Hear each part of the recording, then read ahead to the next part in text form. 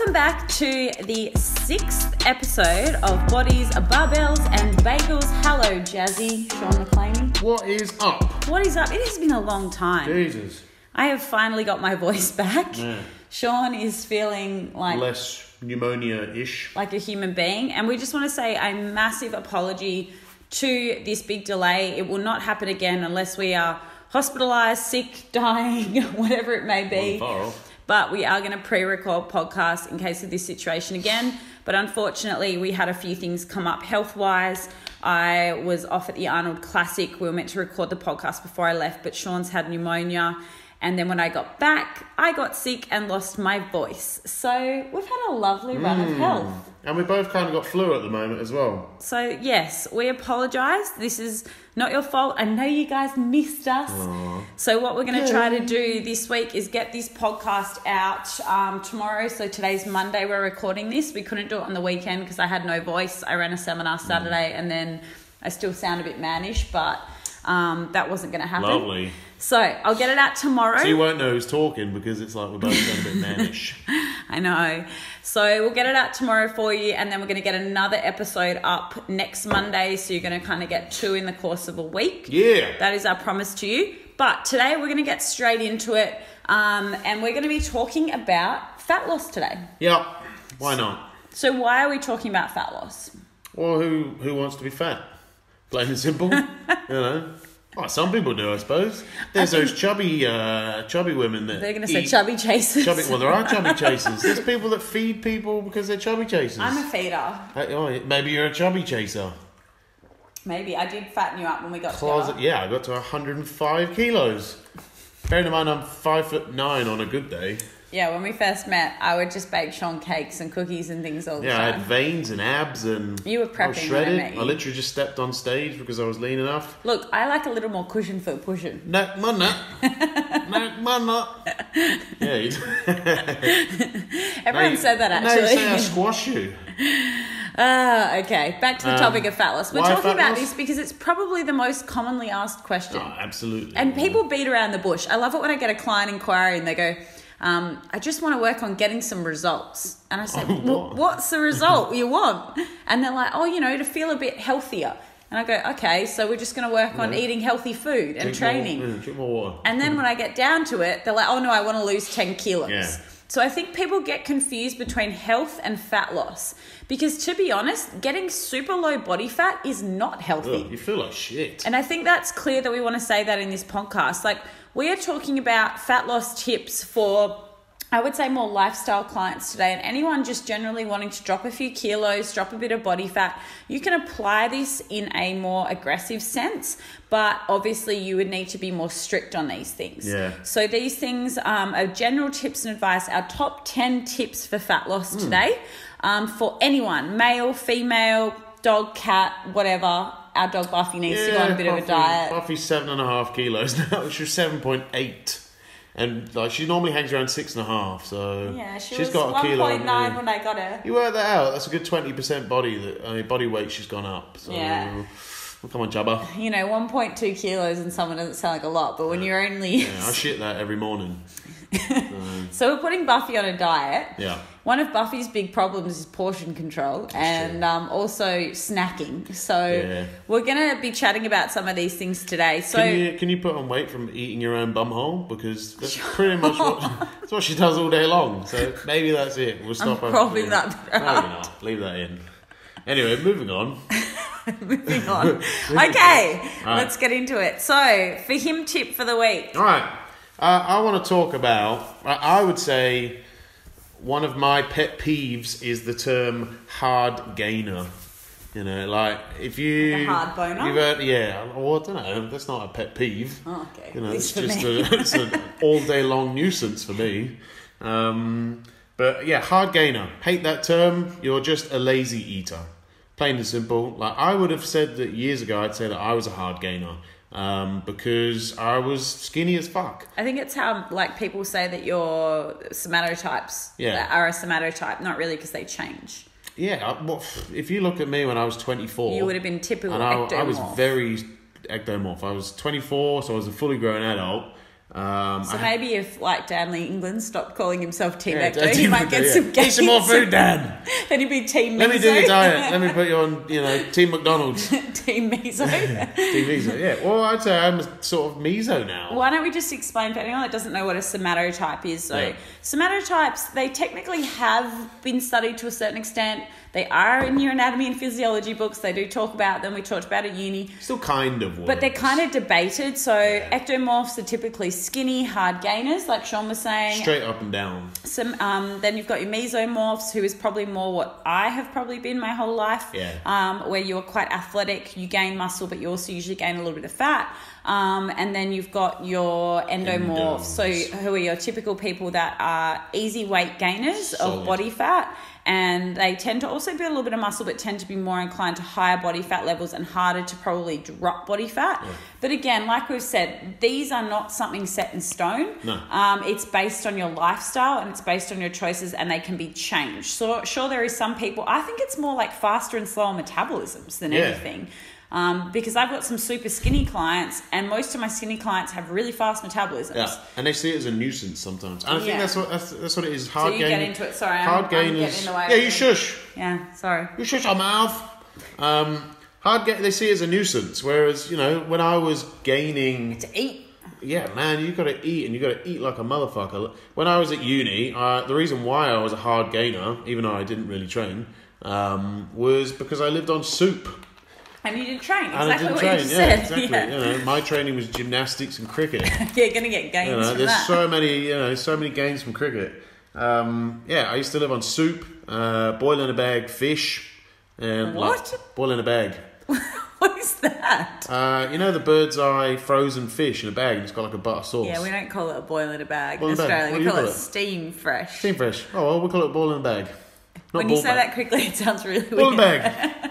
Be a ball bag. So he means those steam fresh fish Steam fresh fish things, yeah. you know, or you pop it in a pot of water and it boils and So blah he blah. blah. basically lived on fish and soup. Fish and soup. And he thought it was going to be Fish gains and a rice that. cake. No, well that's it. Please, anyone listening, go and Google fish and a rice Fish cake on rice YouTube cake. and you'll never want to bodybuild. Or rice and a fish cake. That one's Yeah. funny as well. Um, yeah. I like the remix personally, Yeah. yeah. So hard gainer, I don't think there's such a thing. I think like when I was eating soup and fish, yeah, I wouldn't gain any bloody weight. Uh, good when I was boxing, um, because I was 55 kilos and I would make weight very easily. But as soon as I started eating, I started gaining weight, and not Oh, not just that. eating. Oh, um, when I was on the ships, I'd eat eight to ten thousand calories a day because I was on the buffet all day long. And I put on decent amounts of muscle, like 20 kilos in a year. So- Naturally. naturally, exactly, yeah. Well, you can't get any steroids on a ship. um, so yeah, I, you dock in Mexico. my- yeah, well, that's act- actually it's very true. Yeah, we used to get off the ship and there was a pharmacy right there, and all of the um, Spargos used to buy um, clenbuterol. So, yeah, literally on the shelf you can see some clen, and they had no idea what it was. All the Anyone Irish, listening, that's an illegal drug. it's a very bad drug. Yeah, very bad for your heart. Um, yeah, they would all be like, "Oh, you just bought some clenbuterol. You know, I'm going to double my dose this week." It's like, yeah, you probably shouldn't. It's really bad for your heart. Um, but yeah, so hard gainer, don't believe in it. You need to track your calories. If you're not gaining weight, eat more bloody food. I would say that I can get up to four and a half thousand calories and stick to about ninety to ninety-two kilos. So if I'm a hard gainer, that means, do you know what? I- have to eat more food. What was I? I was on six and a half thousand calories when we. I was over hundred And I got kilos. you fat. So six and a half thousand calories. That's you know, and uh, there's loads of people that can eat six and a half thousand calories I've got some of my girls who eat like over 3,000 Yeah. calories in their off seasons. and, stay looking And then I get guys email me that are eating 2,000 calories and they're full and they're Yeah. wondering why they're not gaining muscle. And it's like, because my females are eating more than you. yeah, I eat my peas and my carrots. Yeah, exactly. So I think, like, obviously on this topic, like, with your males that come to you that are typical hard gainers in Yeah. their opinion. I love those people. what are the basic tips that I mean around training? Another thing is if they're someone that's under eating and they're training a lot because they think that's going to be the thing that gets them the gains, they Yeah. might be overtraining and under eating and then Absolutely. not allowing themselves to grow. in I, off season wise, when I can't put on any more weight, I train less. You know, like I'll either shorten my sessions, uh, make sure the intensity's there, but I'll do four sessions a week, sometimes even three. Um, I remember reading Dorian Yates doing it, massive bodybuilder. He said train for three or four days a week, but train properly. and it works because Yeah. I think too many people try and chase hypertrophy, whereas really you want to be chasing recovery. As long as you get some form of stimulus to gain muscle, you've just got to eat more Yeah. to get bigger. Yeah. You know, um, I would say the the secrets to it is don't be afraid of fats. Fats are something that will just not fill you up. As like if you're trying to eat five kilos of rice a day, um, and super super clean food, then you're just gonna struggle. You feel like shit. Yeah, throw some peanut butter in, throw some Yeah. olive oil in, Oils and coconut. you know, nuts and avocado. I used to eat a kilo of nuts a day. Yeah, I think the biggest mistake when I used to coach a lot more males was that they eat too much protein and they don't eat enough carbs and fats because they think protein's the thing that gets you gains. Yeah. And it really doesn't. I mean, yeah, Well, yeah, it it does, helps, but- but there's only a certain cap to really how much protein you need before it becomes. Remember, protein really fills you up. So if you're filling up on protein, shakes, steak, meat, you're not really leaving a lot of room for foods that are easier to digest, such as carbohydrates, fats, quite easy as well. And once your carbs get up to a certain point, carbs are just as muscle sparing as protein. Yeah. So I drop my protein to one gram per pound of body weight when I'm and, off and, season. and pretty much everything we're saying now is like the opposite of what you do when you're chasing fat Pretty loss. So, much, like yeah. you're trying to up your protein to stay Yeah. full, reduce your fats because they're high calories. So even though this this podcast is Yeah. about fat loss, we're talking the opposite now. That's why I thought I'd throw it in there. A bit of you know reverse. So yeah, you're not a hard gainer. You're a lazy eater. Easy, Simple. If you want to know how to eat more, come and see me. Eating's fun. easy. Yours? God, What's your tip? The hair. I am going to be really honest, and I didn't have one planned this week. Oh Jesus. I know. I'm Well, I really, did a good really one there. disorganized. I suppose that's a tip for him and her. Well, I might do one touching on that. And yeah, I think that I'll talk uh, specifically for females. I get a lot of girls who come to me and let's talk more about building muscle. So, same sort of topic, but Yep. they say, guys will generally say they just want to go up on the scale. So, guys, like, I just want to, you know, get to 90 or get to 100. Everyone wants to hit 100. Boys have got that goal. Girls don't have that goal you ever. don't want to hit 100 kilos? Girls want to, okay, this is the tip. Girls want to put on muscle, but they don't want to see the scales go up. That's true, yeah. It's absolute fact. So I'll get girls come to me and they say, I want to build a booty, I want to build muscle, I want to comp prep, But I can't hit 60 kilos. but I don't want to hit 60 kilos because that's where I die. What's with 60 kilos I of you girls? know. I had that for a little while. Yeah. But anyway, so I'm going to. So did I. Yeah, I'm sure when I you was did. male. All right, I'm going to get through this one quickly so we can get into it. but um, generally speaking, don't worry about the scales. I think there's a big difference with guys and girls. If you want to gain muscle as a female, the scales are going to go up. You have to forget about the scales. That has been a big head thing for me over the years.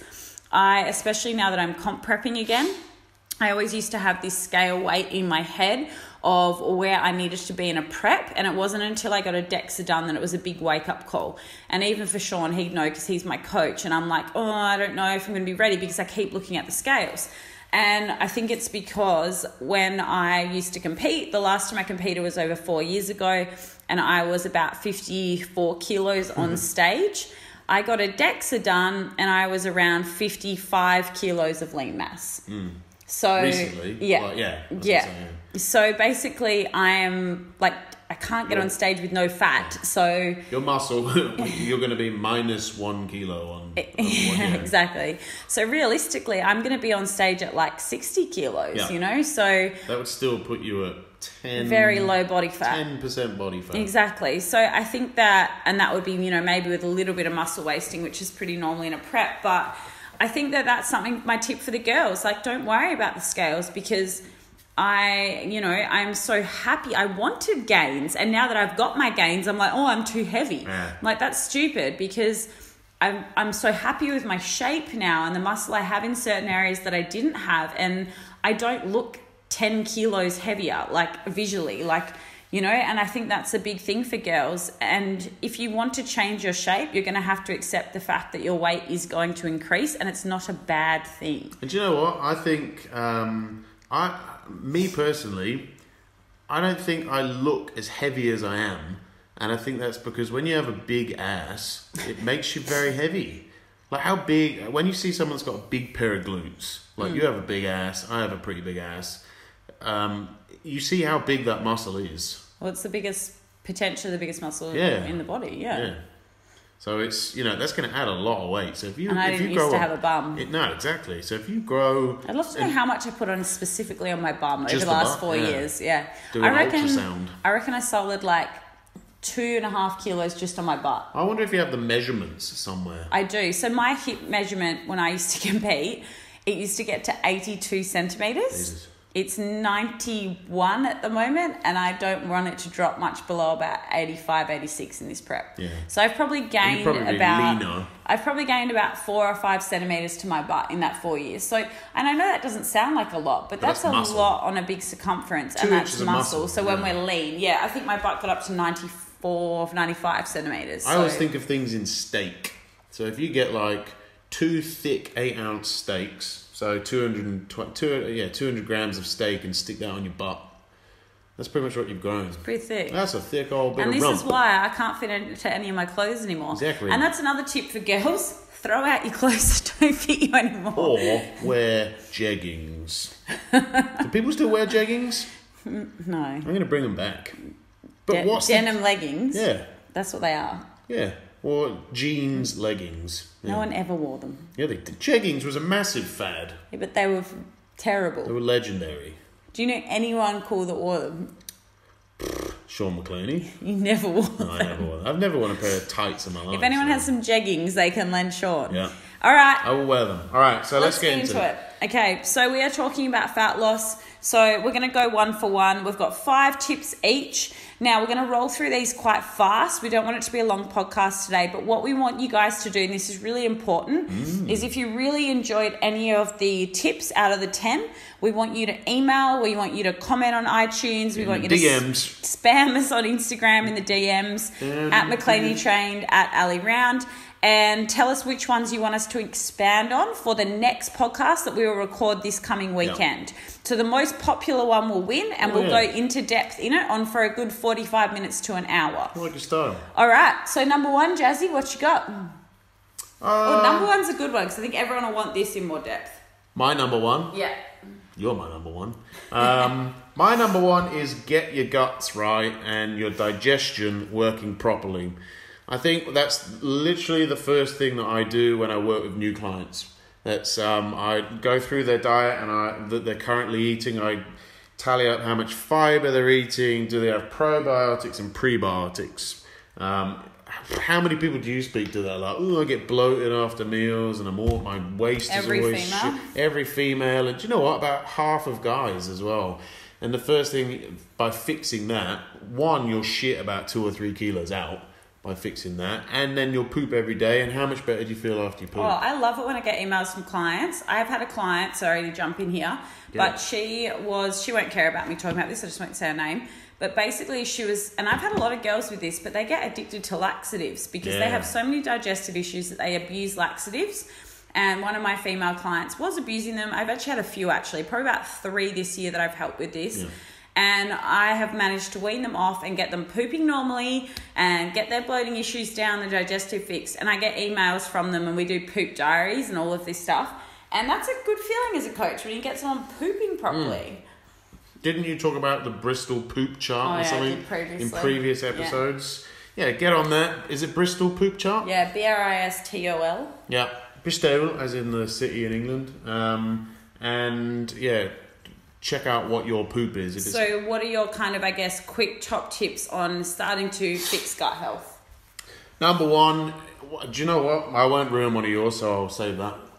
Um, uh, I would say, are you eating enough or too much fiber? Guys, could go 50 50. They either, loads of guys don't eat vegetables, you know. Yeah. Um, I think guys usually under five and girls usually over, but, but then you'll get like me. You remember I was eating 120 grams of But you're on fiber. of. But I was having like four cups of How many guys and, are on 6,000 calories Yeah, not many. consistently? Yeah, so I would say make sure your fiber's decent. Like guys, you should be eating like forty grams of fiber 40 a to 50 a day. Forty to fifty, and then every thousand calories up from there, you're talking another five grams. So the best way to do that would be to just track your food on MyFitnessPal for Yeah. a day.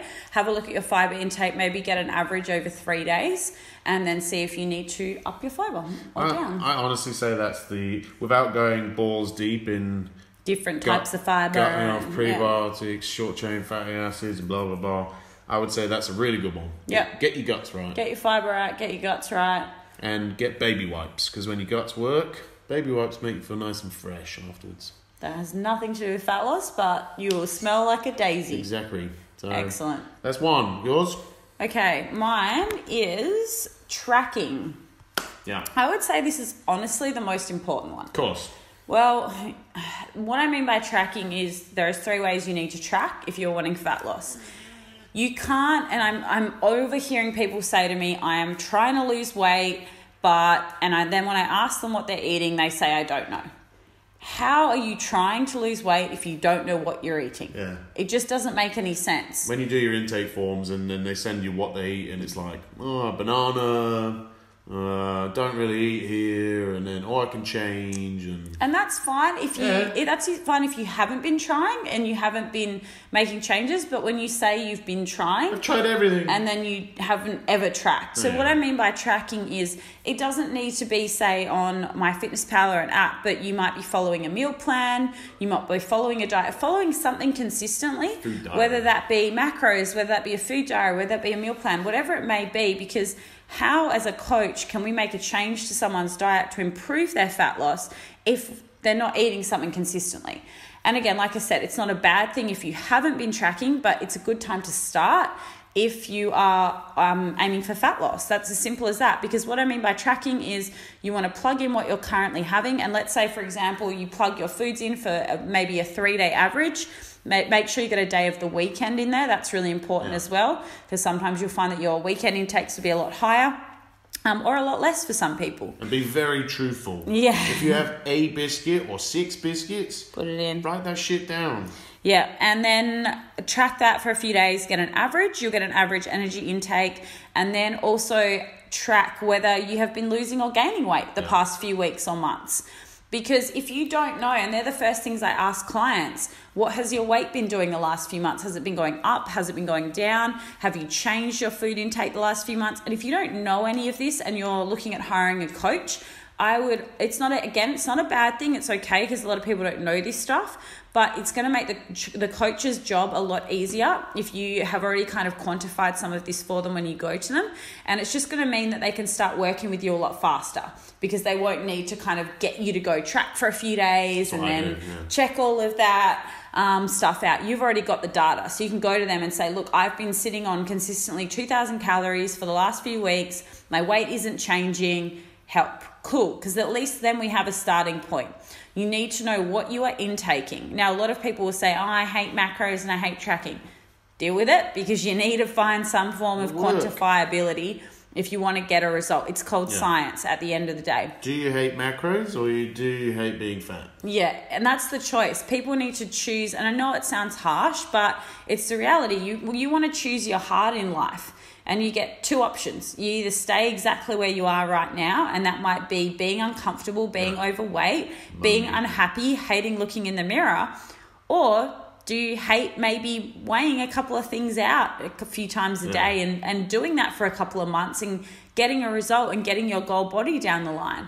Like you have a choice in life, so you can decide which way you want to go with it, but don't be the person that bitches and whinges Mm. about not getting a result, but then you don't want to do any of the hard work. You'll get so good at tracking as well. That you then won't have to do it for the rest of your life. We're not saying you have to track for the rest of your life, but if your goal is fat loss, you need to track where you're at right now and then through at least the first few months i my clients would generally track for at least three months before we start going into more relaxed Yeah. tracking um, in my program breakthrough they track for a three month period they don't track for the first bit and the end of the program we put we encourage them and get them Eh, understanding more relaxed tracking and more intuitive eating patterns but you have to track first to know what you're eating Yeah. okay so the other form of tracking is tracking your measurements or photos or results I'm not a massive fan of using like those InBody scans, things like that. I'm not going to delve into that today, but I would say that you need to track your progress. This is another one I hear people say. They say, I'm not getting results. And I say, Cool, are you taking progress photos? And they say, No. The scales are not the be all and end all, so it's really important to track your progress via photos, measurements. I like doing circumferences with my clients. Where do waist, you? Yeah, go on. So waist and hip are the easiest two to be consistent with. Um, for the males, I also like chest or shoulders, and for females, I also like belly button line and sometimes a thigh. Um, the easiest way to do that is stand in a stand up straight and place your hand down by the side of your body. Don't bend, and then mark that same point at the edge of your hand every week. Yeah. Um, again, measurements are also not the be all and end all, and that's why I like photos to accompany me- measurements. If you can get a DEXA scan done every like six or eight weeks in a fat loss phase, awesome, but not necessary and expensive. Um, they're my best ways of tracking, and then also track your training. I won't go into that in too much detail, but make sure you're just tracking what you're doing physically. Like, did you do more or less cardio that week? Did you do more or less sets in the gym? Did you train more or less days? Because your energy output, coupled with your energy intake, coupled with your progress is going to really be the things that you want to know on a weekly basis or a fortnightly basis whenever you're checking in with yourself or with a coach this is all the stuff that we go through with our clients in obviously a lot more detail but there's some basic tips for you there so tracking number two You pretty much just knocked on one as well, which is calories in versus calories out. yeah know, so that's a big one. You can't beat energy balance. Like, oh, that's my next one yeah. So I won't get into that. My next one is. Uh, so is that basically number three? That one. you're on number three So I'm on number four, really. What Mm-hmm. are you doing? Okay. All right. Um, number three for me is enjoy your food. Like when I what write. it's fat loss Oh no, yeah. What's that? Oh, uh, how do you do that? You know, I don't know how you can eat clean and healthy all the time. I was time. saying to Sean Like, before oh. that I had an email from a girl today, so I hope she's listening. So thank you for your email. But I sent out a big email today talking about failure and how failure is okay. And she sent me an email back and she said pretty much, I fail every weekend because I eat pizza and I eat crap and I just love love food. And I was like, we love food So too. I. So do we. We're not just because somebody gets a result and you and they have a lean physique, it doesn't mean that they like eating clean, healthy, boring food. No. I hate that shit. We love dirty food. I'd love to eat burgers all day, Mm. but that's not going to get the result that I want. So what do we do? Well, when I say enjoy your food as well, as it's like eventually if your calories do get low, you do have to get more bro and a bit less with the sauces currently. and stuff. But if you're not on poverty calories, but even if you are, when I was on poverty calories, coming from six and a half thousand down to two thousand on my prep. I was eating ramen bowls and bulking things out with stock and Yeah, you know just low, low portions of calorie tomato sauces and stuff. Portion like that. Yeah, control. Smaller portion, portion control. But if you can enjoy your food, regardless of where you are calorically, you'll stick to it so much better. And I find that's a big thing that my, especially ones that, um, that's the whole point in doing flexible dieting. Exactly. Is you can okay, I don't want to eat fucking chicken today, so I'm going to Yeah. eat fish, I'm going to eat lean meat, or I'm going to eat you know something completely different. I don't want to eat broccoli and chicken. Yeah, fuck broccoli. Um, so yeah, enjoy it. Be flexible with your tracking as well, though, um, and you'll be so much more successful in the long run. Absolutely. And I think that it was interesting. I had a client as well, Beck, shout out Beck, um, who basically said that she's um, in her late 30s and she has been on diets for the last 15 years before Gon- she started Gonzalez? work- Gonzalez Right. before she started working with me if you need a, if you need a broker there you go back. we're giving you a plug she kicks ass. yeah she's got to say house so very good. Anyway, um, on that note, we did get our titles today, so our Yeah, we did. slab party will be coming We're soon. landowners. Yeah, I know. We're building a adults. house. We're adulting. You're an adult. I know. I'm not. Shit. All right, we'll get back on track. But Yeah. Beck um, has a young son. Well, not young. He's 15, Kai. And basically, she said to me, one of the things I've loved the most about working with you is the fact that I can enjoy a slice of toast with some Nutella on it with my son. She said, I haven't eaten bread in like the last 10 years without severe guilt, without feeling like a failure, without feeling fat. Mm. And she's losing weight at the mm, moment. So it's good. So simple things like that, simple enjoyments in life. You don't need to not have those What's things. that? 150 calories, maybe. It's like nothing, Yeah. you know. And she had that like on a high carb day, Yeah. bit of bread, bit of Nutella. Like that's how food should be enjoyed. If you want to, you live in Australia, you want to have a Tim Tam, it's like 150 calories. Like Yeah. I'm sure you can squeeze that into your macros. It's about you know 80% quality food and 20% be a little more flexible. That's my rule for my clients. Hit your protein, hit your fiber, hit all those things, and then yeah, One of my favorite things is when you have someone that's uh, like I have Joel, one of my clients. He um, has come from very, very overweight as a kid, um, and we'll do a high carb day, or he'll have a free meal or whatever, and he's just afraid to eat what he deems as bad food. So Yeah, it's uh, like- bad Yeah, he's like, oh, or I'll give him like four and a half thousand calories in one day because I know that his metabolism's gone a bit sluggish, and he'll wake up the next day and it'll be like nine hundred grams lighter. Yeah, you like know? me and he's week, like, he's like, oh, how the fuck does that work? You know, mm. and that's cool to see that. Yeah, and I think this bad food stigma has to go. Like, Yeah, no, no, no thing. the thing that I prefer to term it and write this one down is there is no bad food. There is food that is a good choice calorically for where you're at in your goals. Yeah. So is it a good choice? That's what I say to my clients. Is it a good choice? Is it nutrient dense? Is it not nutrient dense? And if it's not nutrient dense, have you already hit the rest of your macros for that day and it's a okay to have? Yeah. Um, you shouldn't feel guilt around food if it's within your goals. That's the big one here. So enjoy your food. I say there's no bad foods. There's only bad Choices. portion sizes And choices. and choices. Yeah. All right. Absolutely. All right, the next one, which we did kind of touch on before, is energy requirements. Tip Yeah. number four. Your energy requirements. Exactly that. So basically, just understand them. I don't think I need to go into too much more detail on this No. one, um, but basically, you need to know what your energy requirements are. Like, and what I mean by that is, like I explained before in point number two, that's just by tracking and understanding that. Because you could plug your height and weight and a few variables into some online calculator, and it might spit out that you need to be on X amount of calories for fat loss that calculator does not know what you have been on for the mm. last 5 10 15 20 years of potential bit of metabolic you know down regulation that you've done from all your shitty diets over the years or the opposite you actually are very active and it's underestimating what you should be having for your requirements. And maybe yeah you're not gaining muscle or not doing the things that you want. So my biggest thing is know where you're at today rather than worrying about all these online calculators and whatnot. Determine where you're at now get an understanding of what you're intaking and then create some form of an energy deficit whether that be through exercise or whether that be through diet i would do it through diet first and then if you need to that is then when you add in you know cardio or another training day all those variables. You do your energy deficit through food first so dropping a few hundred calories off to begin. You can go in a percentage you can go in yeah calories i find a lot easier. Mm. And just know that you need to have an, an energy understanding there. If you have no idea what It's that means. exactly yeah. Secret to fat loss. If you can, un- I always say, if you can understand physics, maths, and chemistry, I know it sounds really over the top, but you'll be a pro at fat loss. absolutely Easy. Next one. Oh, and the other one is if you've got no idea, go and get a consult with someone. Go Yeah. and chat to a qualified person just to get them to explain it to you and determine a baseline intake that you can start on. with all of your variables Exactly. taken into consideration. So, right, my next one. Um, Number I, five. is it? I would say um, take your time and be very patient and realistic.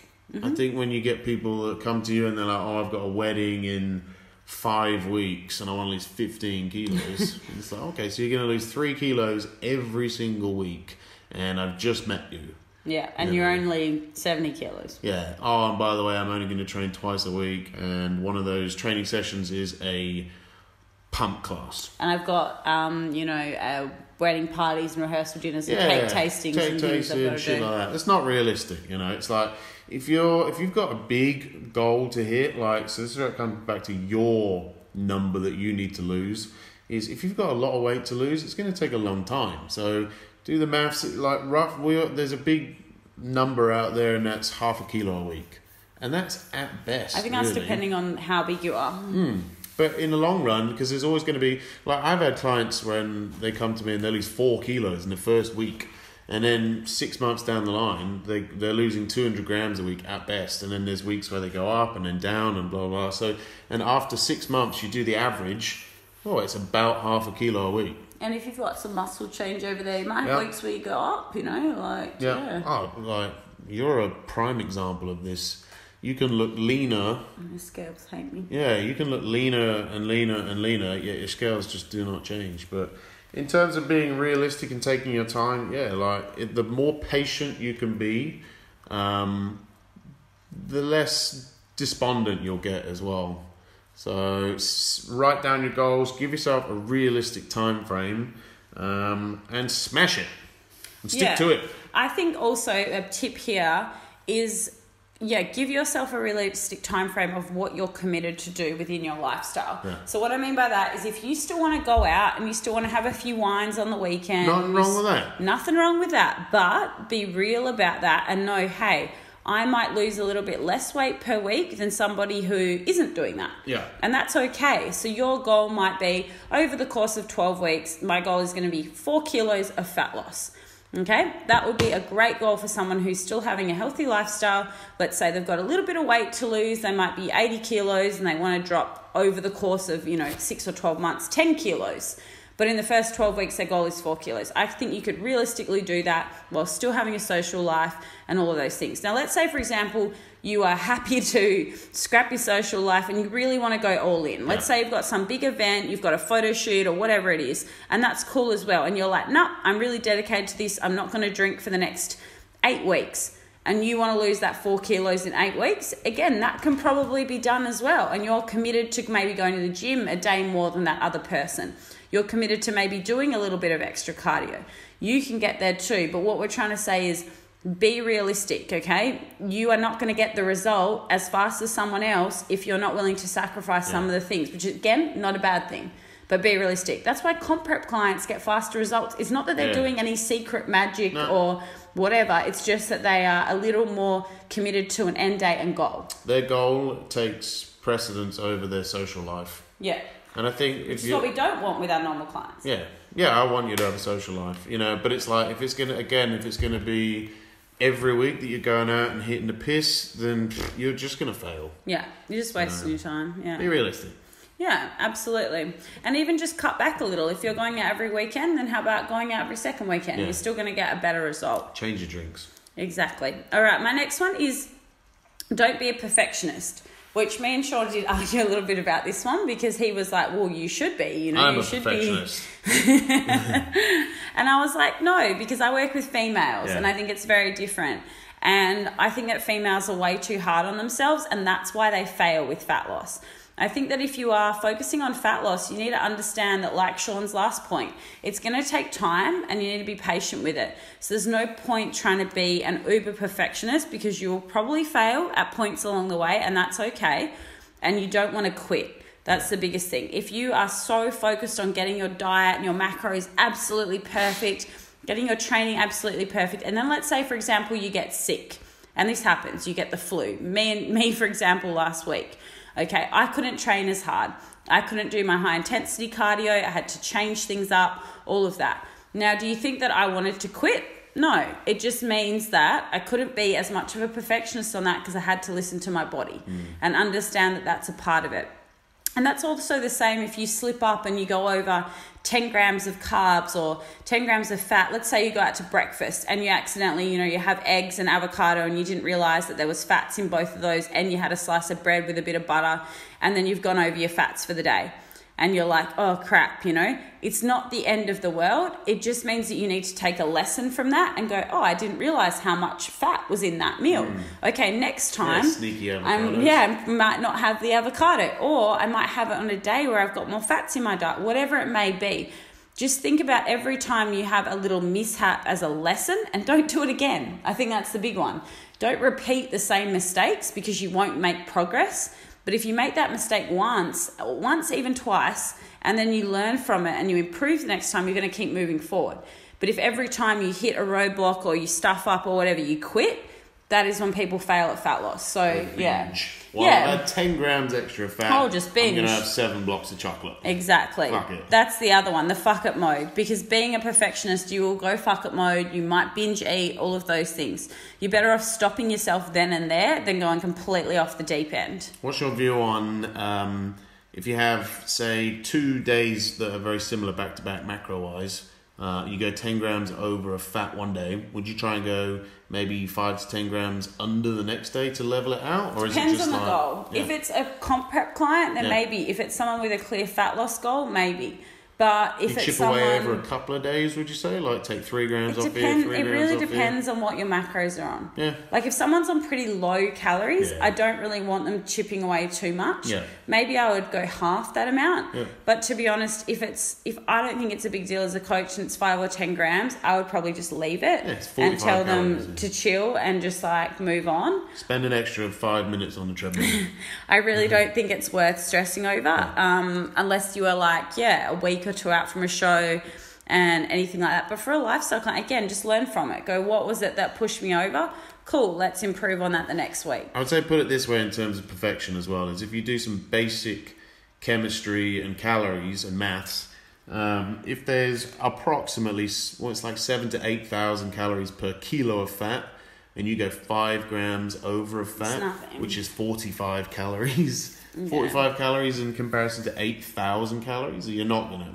You're gonna Yeah. put on what two grams. And I think the other way to think about it with with this is that if you were someone that has say has only been on this plan or macro plan or whatever for four or five weeks, and you were eating way more than this before, and you're already on a calorie deficit, do you think that going over a few grams is going to be worse than what you were doing before? sometimes Absolutely it can be not. good. Yeah, so we probably won't get into that, but I definitely think don't be too hard on yourself. The biggest thing is consistency over perfectionism, so keep moving forward Yeah. and don't go YOLO when you do hit a roadblock. Yeah. All right, mine. Now we're up Um, to seven. Is it? Yeah. Uh, I, if you're on a long term fat loss phase, I like to set up a rewards system. Um, I like to say, you're not a dog, don't reward yourself with food. I like food. Um, even though you like food, yeah. Um, we won't get into refeeds and stuff like that. But what do you do when you are doing well on your um, cutting and dieting and I go online shopping. she goes online shopping, exactly. Why do you need to go online shopping? because I don't like going to shopping centres. Yeah, I don't like screaming kids. And you're a smaller human now, so you need new clothes. so Um, yeah, I buy myself things Yeah. When I'm doing well, if I've nailed a week. Um, because when I'm dieting, I don't really spend money on food. I actually, people say it's expensive to eat healthy, and I call bullshit because when I'm. are you eating? I'm not going out as much socially. I'm not buying, I don't really buy coffee out. We work from home. We're not people that actually do spend crazy amounts on food a week. I, I, I buy quality food. I probably spend about like 160, 100, I spend more on food than Sean a week. I've been living on fifty dollars for the past how Been long? on a house Oh, budget. poverty. But mm. I mean, in saying that, people will say, oh, $160 a week is a lot on food. And you're like, well, how many dinners do you go out to? How many Yeah. coffees and alcohol do you buy? I don't buy any of that when I'm dieting. So realistically, I like to treat myself with, you know, Gymshark gets me every time they bloody do a launch, and Sean knows because he gets these packages that arrive, and yeah, We're very, yeah, we're very friendly with the Indian. yeah, Um, delivery driver. it's like from- Indian South African. Uh, then we have two. We have the one from DHL, and then we also have the lovely man from StarTrack. Okay, yeah. Yeah, yeah, we're friend. We're tight with him now. When you work Yeah. from home, you get tight with your delivery love men. the dogs. So Yeah. yeah, rewards, you know, and, and set it up. It's Another good one, sorry to interrupt, is I have had some clients, and I've done this before, where they book a holiday at the Yeah. end of a fat loss goal. So let's say your goal is, you know, okay, my treat is going to be this holiday, but I'm going to be committed to, say, not going out and not drinking alcohol for the next six weeks. Um, and then I'm going to go on a beautiful holiday. So not only am I going to have a bang and bod, but I'm also going to have be really proud of myself that I've achieved that goal. Yep. And that's exactly it. You don't need to reward yourself with food. There's so many other things you can reward, reward yourself with. Yeah. Um, and it doesn't mean you can go on holiday and get fat again. you know, you now know how to track your food, so you can learn how to track alcohol and you can learn how to track, you know, Balinese food as well. So find non-food related rewards. Exactly. Because that can be a really bad habit, especially if as a child, say for example, your parents brought you up with like food as a treat. Yeah. It can be kind of ingrained in you, so it's a habit that has to be out trained Yeah. by setting a new habit. Do your chores and you'll get dessert. Yeah. And they say it takes what, twenty one days to create a habit. So It always changes. try that. days. Well, I think I for still a good to three or that. four weeks. Yeah. Yeah. I think three or four weeks of something. So maybe set yourself a goal every week, and if you achieve that, then get yourself something nice. exactly. Yeah, I think that's a good one. Yeah. Um, it doesn't have to be financial, but it can be yeah anything. You know, anything else non-food related. Absolutely. Yeah. What are some other you know what I do? This is Something non fun. this is non not fitness related, but I, this is work related. I treat myself when I've smashed my workout to an episode of Real Housewives. Well, exactly it. you do as well. I can hear it. Fucking I'm like I'm, I'm like Sean, don't talk to me for the next hour. It's my Yeah. show time. Shut my office door. Yeah, so when I've been smashing out work since like 6 a.m. and it's 2 p.m. and I'm having my lunch break, I will watch an hour of TV as my reward and then I'll get back into work. Yep. Yeah. You can do anything like that. Because it clears my brain and I feel like I've already achieved something, so I deserve it. Exactly. Treat yourself. There you go. All right, next one. Number eight. This is like the most simple one, but people just don't take it seriously. And I want you to have a good think right now listening to this podcast. How much water have you drunk today? Mm. If you're listening to this in the morning, how much did you drink yesterday? If you're listening to this at night, how much have you consumed? I've got a water bottle right in front of me now. I have a chamomile tea. Of course you do, Jazzy. Chamomile and honey, Lovely. which I'd like another one. Was gonna have to delicious. wait, okay? Damn it. Yeah. If my client Kim is listening to this, how much water have you drunk today, motherfucker? Not enough. Not enough. Amanda. Amanda Coffee doesn't count. Amanda used to struggle to drink like a liter. And I Mango? remember, yeah, when Mango was oh, prepping, Oh, and she's it. like, I just, I just can't. But water, okay, a few reasons. Water. Water. I find if I haven't drunk enough water, there will be a few things that happen. Number one, I get headaches, Yeah. and then I can't concentrate, and then I make bad food choices. Okay. I will be less productive, and then when I'm less productive at work, I get frustrated, I get annoyed, and it's just a whole vicious cycle. Because when you can't be productive and you can't do things efficiently, how do you feel? You feel pissed off, you feel frustrated, like I just said. And so for me, drinking water helps me be more productive, gives me more energy. Um, the other big one is obviously it helps with training. I definitely find I train better. That's going to help fat loss because your recovery is going to be improved. Um, you're not going to be as you know dehydrated and fatigued in your sessions. So definitely smashing some water pre-training, intra-training, all of that, post-workout. And the other big one is when you are on lower calories, sometimes dehydration can be mistaken for hunger. So a lot of the time you'll think you're hungry, but you're actually just really dehydrated. So I definitely find first thing in the morning, I try to drink some water before anything else, usually water and then a coffee. Um, and definitely like Sean doesn't really drink water before bed, but I tend to smash a fair bit not to. before I go to bed as well. Uh, we drink a lot of water. Yeah, um, I like probably drink about, yeah, you drink about six. I would say I drink more when I'm prepping because I'm doing more cardio. Yeah. So that's more. You're a sweater. Sweat. I'm a sweater. So I probably drink about five to six liters a day at the moment, and I also have a lot of salt in my diet. So if you have a lot of Yeah. salt, you need more water. It's Australia. Yeah. You know, when it's 40 degrees in the summer, and humid, You'll, like- you'll sweat out a litre overnight. Like Absolutely. I say, the easiest way to get your water up is as soon as you wake up, just smash 500 mils. Yeah. Don't have like a little sippy cup thing. Yeah. You know, hit 500 mils, then have your coffee. And And, then I- you'll go for a massive piss. And I think like going into the actual like um, a bit more sciencey on water. Water plays so many roles within the body that you forget about that will actually affect fat loss. It actually helps with cellular function.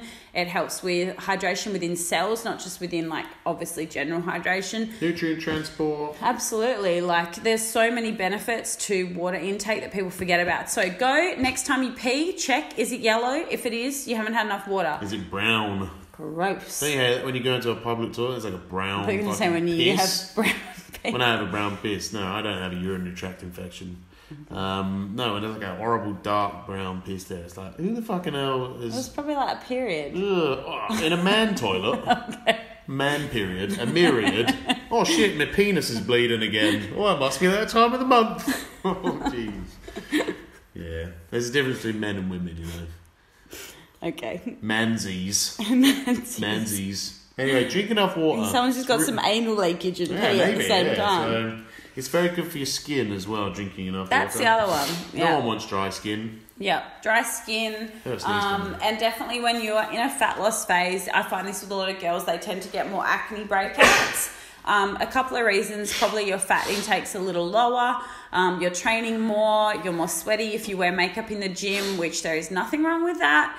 Um, but you're, you'll find that your pores will get a little bit more clogged. So, going off topic here, but ladies, wash your faces after you train. I probably wash my face twice a day because um, I have been prone to acne, and definitely since I've drunk a lot more water, that has been improved as well. So, if you're going to get your hot body, you may as well get your hot face as well. Yeah. So, tip there water, at least I would say three liters a day if you are training, two on a non training day. That's the minimum. Yeah, like like I said, like unless it's how cold does it get here in Perth? I always forget. Oh, like, I don't know, 10 Yeah, worse? you're still gonna sweat. Mm. You know, like I sweat perpetually, so because I'm English. Anywhere in Australia, you, you shouldn't eat any less than two litres a day. No. And that's and the, the Australian recommendations are two litres a day, and that's for someone not active. As soon as you train, there's another liter of water. Minimum. Yeah. So if, I would say two to three is your minimum. Yeah. Yeah. Awesome. Um, and the bigger the human you are, the more you More you need. So. Exactly. Right, so I've got number nine. Um, I would say um, recovery is just as important as your training. Oh, cute little puppies. Um, and what I mean by that is people think that in order to lose weight, you've just got to smash yourself into complete submission. Um, when in fact, really, what you want to do is is get the stimulus and then chase recovery. If your body is recovering better, it's going to work better for you. You know, so if you're getting good food in you uh, and you're having your rest days, don't be afraid of rest days either. Um, then your body is going to work more efficiently than if you just smashed in submission and you felt like shit and you were broken and you're all tight and you're all, oh, hello, Chubsy, um, and you're all torn to bits. So, you know, don't be afraid of rest days. Make sure you're recovering. Um, and yeah, I mean, that all ties in with things like water and stuff like that as well. So, I mean, one thing that you wanted to talk about a little bit was stress and yeah, stress and sleep, which ties into this really. So, um, mine is yeah, don't be afraid of rest days. Make sure you are recovering properly. Oh, on that, on rest days, has anyone noticed that when they actually have a couple of rest days, they're lighter on the scales? Hmm. And this is something important to understand as well. I'm very much like that. Because you've got less inflammation, Exactly, yeah. and I get- inflammation is fluid. If I have a huge leg session, my legs just look like sausage legs. Yeah, and it was funny because I had one of my girls and she's in a fat loss phase and she was sick, so she had a few days off and she probably maybe underate a tiny bit calorically, not really though, she's pretty on with her macros.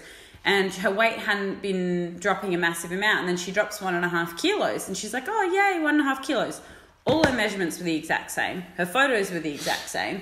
And then the next week, her weight went, I think, back up half a kilo, but all her measurements came down. And she was annoyed. And I was like, Oh, jeez. What's your, more important? Your measurements went down. You look visibly leaner, and that was just a bit of fluid. And I said, "What did you train the day before you weighed in this week?" And she said, "Legs." And I went, "Well, there we go. We got some inflammation." Yeah. A few days later, weight's back down again. So don't be too hell bent on weight, and as recovery and training will affect that. Hmm. Yeah, so I think that ties into your last one, which is Stress. Yeah. Okay, stress is probably the most overlooked variable when it comes to fat loss. Yeah. It's definitely been one that has influenced me a lot personally, which is I think why I'm so interested in it. There is actual science behind this. There is science behind stress and the cortisol response on fat loss. Yeah. Um, so I think that it needs to be taken more seriously. And stress, I don't just mean stress from like someone annoying you or your job annoying you. There can be internal stress, which again ties back to the digestive system. So if your guts are stressed out, all of these things, that's going to have an impact. If your heart is stressed, your arteries are clogged, all of these things are going to have an impact on your fat loss. And then also, obviously, chronic stress would be like mental stress chronically from say a job or a relationship or just you're a stressed person. Like you're someone that's just like anything stresses you out. Everything you see as a negative. Everything is fearful. So some of the i guess big qualities that you'll see in your personality if you're someone that is chronically stressed and it has become an issue is that you react very poorly to situations you take everything personally um, you know you find it hard to get over things. You know you're fearful for your future so you're constantly worrying about like what's going to happen tomorrow or the next day or the next week. And you find it hard to just like do daily tasks to finish things. Um, you put too much on your plate and then you get stressed out when you can't finish it all of these things are things that I've done before. That's why I'm saying it. Who hasn't it? Because it's yeah, it's taken me a while to get into a place where I wouldn't say I'm a stressed person anymore.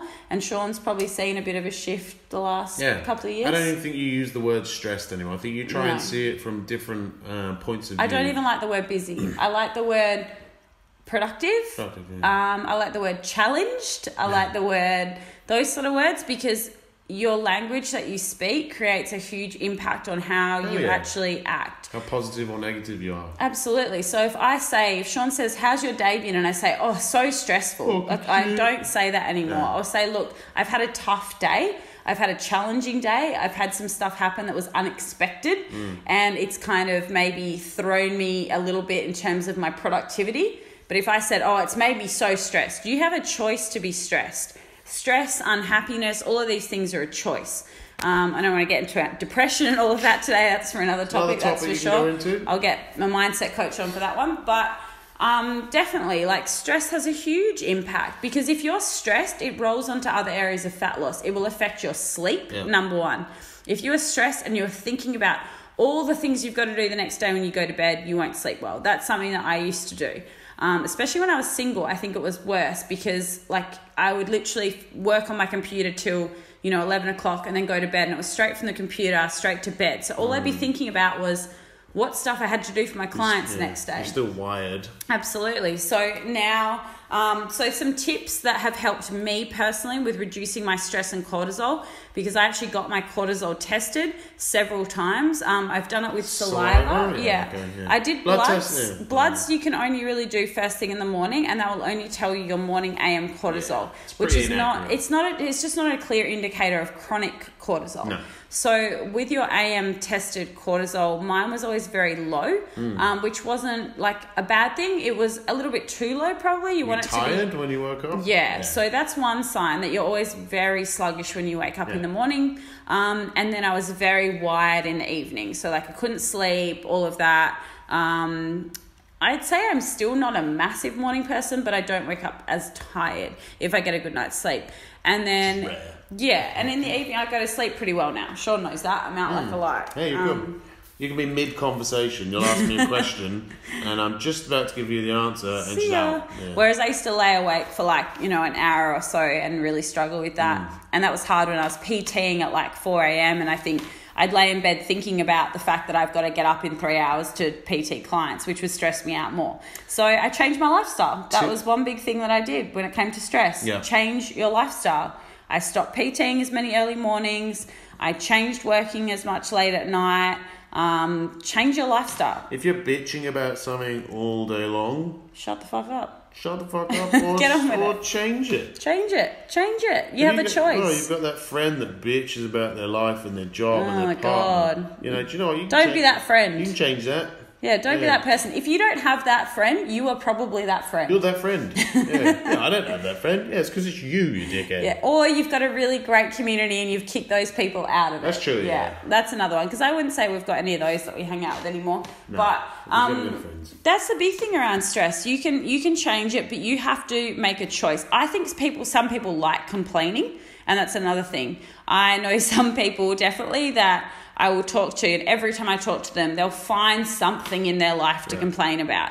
And I'm like, is it really that bad, or do you just want to talk about it? So I think make a choice when it comes to stress. Do you want to be the person? And that was the choice that I made. I didn't want to be the person that constantly said I was stressed. So I made a choice and I made a, a constant change. I'm not saying I don't have my days, moments, any of that. I definitely have my times, probably once a month, where I sporadically lose Mm. My shit but I'm definitely more in control of the reaction to it and how to get back on track. And don't be a sponge for other people's stress. Absolutely. Yeah, don't don't be one of those people that and I've definitely been this person and Sean probably told me off about it because I had a straight. few a few friendships that were very draining. Darn tootin'. Even clients, you know, like our job as a coach is to coach, and I am so there for my girls and my clients, like 110%. I'm all in if you're all in. But at the same time, if I have a client that is emailing me every single week and their check ins every week are I'm stressed, I'm stressed, I'm stressed, and they're not doing anything about it, that I'm actively asking them to try to change. Yeah. then that is something I can't help with. I can only say to you so many times, okay, I want you to try this. I want you to try to create a nighttime routine, or I want you to try to start with some lists and some tasking and like let's get to some daily non-negotiables. These are the, some of the things that I recommend doing with females. So if you are stressed out, here's a few top tips. Um, start with your daily non-negotiables around your health and fitness. What does so, that mean? what that basically means is if your health and fitness goals are failing and you're constantly failing and you're getting annoyed because you're stressed out about everything else in your world, but you're still overweight and you're still unhappy, do some daily non negotiables around your health and fitness. I would say pick four or five. So, what that might be is some of the stuff we listed in the podcast drink three liters of water a day, sleep a minimum of whatever you want to list as your minimum, eat three serves of protein a day, eat three serves of vegetables a day. Simple things like that. Move your body. Doesn't mean go to the gym but move your body.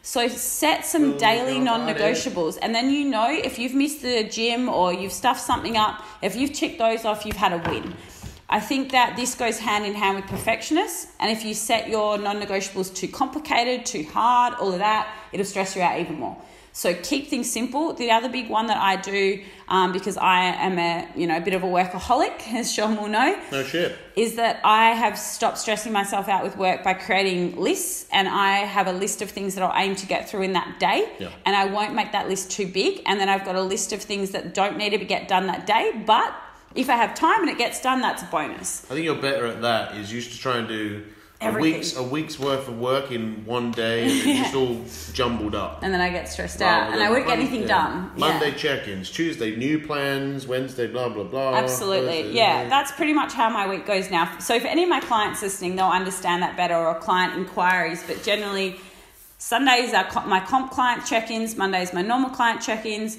Tuesday is programming, Wednesday is filming content, Thursday is client phone calls and inquiries, and Friday is admin. I have meetings with my staff, I do books, I do accounts, and then Saturdays I'm in the gym with clients. So that's pretty much And what's Sunday? Sunday is Sean's day, Right. and I don't reply to anyone on a Sunday besides comp clients. So And that's when we de-stress. exactly, What's a great way of de-stressing? Hugs, Hugs. hugs, yeah. not drugs. Hugs, not drugs, kids. or nugs. Hugs, not What are you talking about? We haven't had sexual intercourse. We're not married. Oh, that's true. yeah. I'm waiting for you to put a ring on it. Okay, yeah. well, you'll be waiting a while. So I'll be waiting a while, unfortunately. So is that 10 tips? That's 10 tips. You're like, I'm going to get out of this yeah, to conversation. and very de-stress. So yeah, guys, I think that's the last one. Like, I could talk about stress for a whole podcast. So Yeah. if that is something you want to talk about, I can definitely help you with some strategies that have helped me. Um, but definitely, I hope those things talk um, help you with fat loss. So let's really quickly summarize them. I'll say mine, you say yours. I've deleted so them. number one, I deleted them. what was your number one? Uh, fix your guts. Yeah, number two, track measurements, training, nutrition. Number three, Can't remember. um, I'm trying to remember yours. You had one recovery. No? Well, yeah, that's another one. Okay, recovery. the recovery. Number four, uh, know your energy requirements. Oh, uh, enjoy your food. Enjoy your food. Number six, don't be a perfectionist. Number seven. Uh, pass. Number nine, water and stress. Maybe we got them all. I'm showing this one. We did 10. I know we did 10. We'll put timestamps up, and that will have 10 in it. did you delete them? He got Well, excited. Yeah, I got excited. Okay, do you want to do a little wrap up? Yeah, well, Have you got anything coming up, Jazzy? Anything you need to tell them? uh, with regards to what? I don't know. You're coaching your work. Well, I thought we were going to say we got your Holidays, you got your thirtieth birthday. Oh, I'm getting old. Does anyone want me to do a podcast on the top, the 30 things I have learnt at 30? Oh, that's a good one. Would you like that? Do you want to interview me? Yeah, well, that's not a bad one. Would you like that? If you'd like that, Well, why didn't we do it? for I've already 30th? started taking notes on that actually. Have you? Yeah. Oh, that'd be a good one. So my birthday is April 29th. My PO box is 511 Scarborough if you'd like to send gifts. I'm not dear. kidding. Um, anyway, Not kidding. um, so yeah, I think I'll do that. Coming up to the dirty 30. Sean's already over 30, so we're going to wait for his 40th. That's why I'm dirty already. Uh, other than that, I just want to thank all the beautiful women that came to my training camp Mm. on Saturday. You did make me lose my voice because you were asking so many awesome questions, and we had a really, really great day. So, that was a more theory intensive booty day. It was all about the glute anatomy, physiology, biomechanics, so much science. Um, and now I'm going to be running another camp, which is on the 26th of May, and it will be training intensive. So, if you live in Perth, get down for it. I'm actually going to see if Sean can come as well and help because it is Oh. more hands-on training. Oh, yeah? Um, so if you want to, And I have a big booty. he sure does. So that is on the 26th of May. I will leave a link to that down in the show notes if you want to book and secure a spot. I believe there is five spots left. Jeez. Um, so yeah, it's been busy. We've been busy. It's Nice. been- yeah. We apologise for the delay in podcasts. We're no longer as sick and pneumonia based, and you're not in Melbourne anymore, so we're going to get back on top of it. We're going to get one out every Monday. We're going to get two out this week. You said, didn't you? Yeah. So we're to, this we're going to we're going to post this one up tomorrow. So tell us which stuff you'd like us to expand on. yeah, get down in the DMs. Because we truly appreciate all of you guys listening to us ramble for an hour every week, and we don't want to lose you because we have skipped a few weeks. So we want to know what you want to listen to, Yeah. and we, we thank you so much. Thank you so so much for tuning in. We hope this podcast was informative. If you have any questions, contact us on social media. Shoot us an email. Um, what's your best email address, Shawnee? Sean at McLaneyTrained.com. Easy. Mine is alice at aliceround.com, or you can go through my website, which is the exact same. So thank you so, so much. Wrap it up. Say goodbye. A good day to you, people. and we'll see you next time. We'll see you Monday. So we'll see you in about three days, basically. All right. See you guys. Ciao.